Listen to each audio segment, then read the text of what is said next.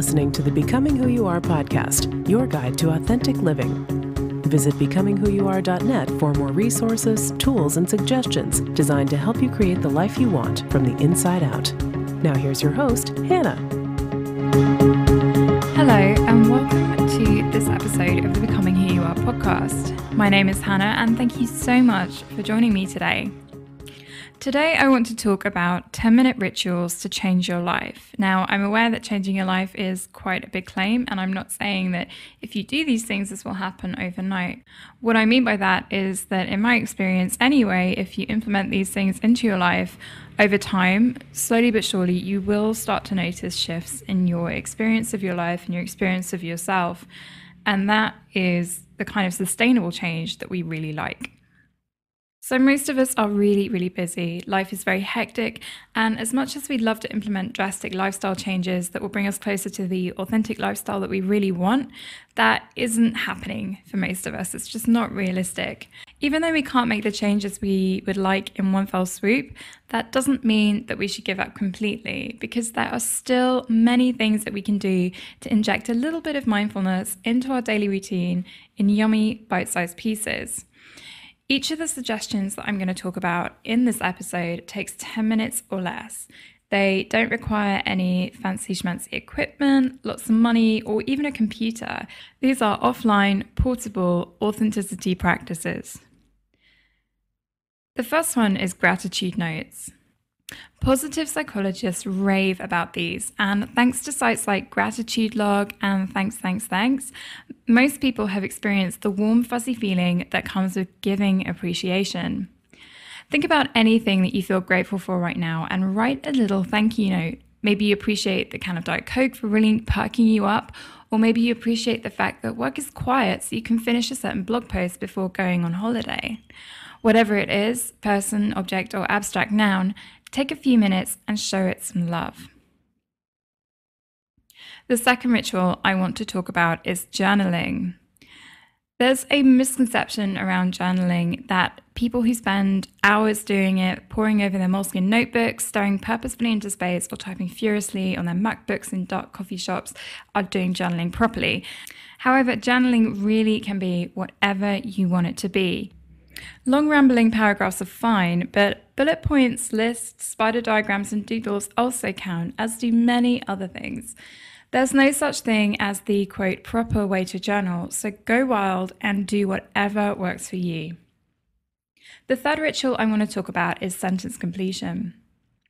Sentence completion is a way of exploring our associations and thought patterns.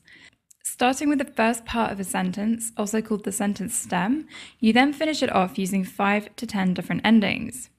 I found sentence completion hugely helpful in my own personal development, and I've actually created a four week sentence completion course, which is available now through Becoming Who You Are.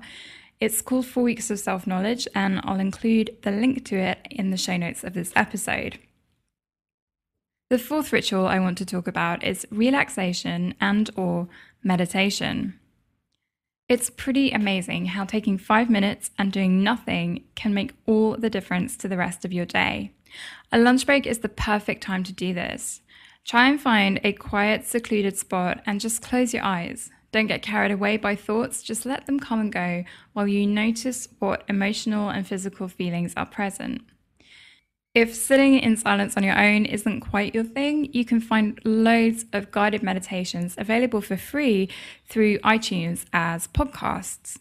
My personal favorite is Meditation Oasis, and they offer a series of meditations around different topics like flowing with change, feeling your emotions, dealing with grief, dealing with anger. Uh, a deep relaxation meditation, and many, many more that I cannot remember now off the top of my head. Again, you can find the link to that in the show notes of this episode, and I hope you find it helpful.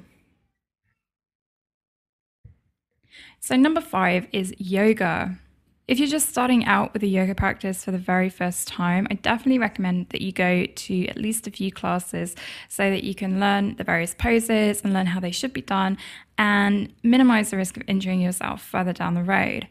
In the long term, however, you absolutely don't need to go to classes if you can't or don't want to.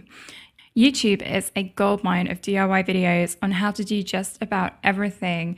And you can find everything on there from a full body workout to wrist yoga for people who sit at a desk all day and all these different routines. One of my favorite yoga websites is Yoga Download, which you can find at yogadownload.com. And again, I'll put the link to this in the show notes.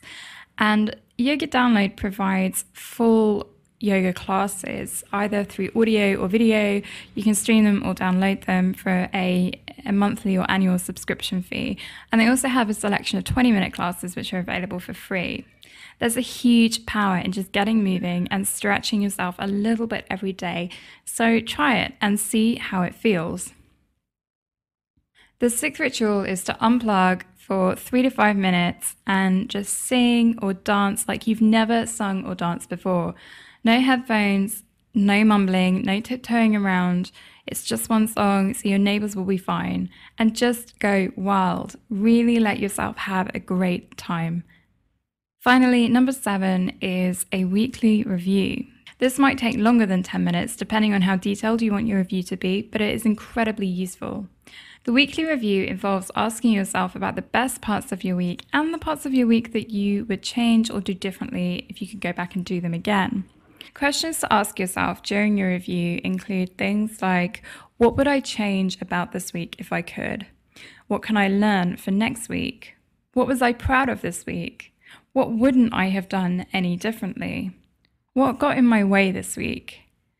And how could I stop that particular thing getting in my way in the future? The list can also include things like biggest surprise of the week, heartwarming moment of the week, and anything else that you want to create a weekly record of.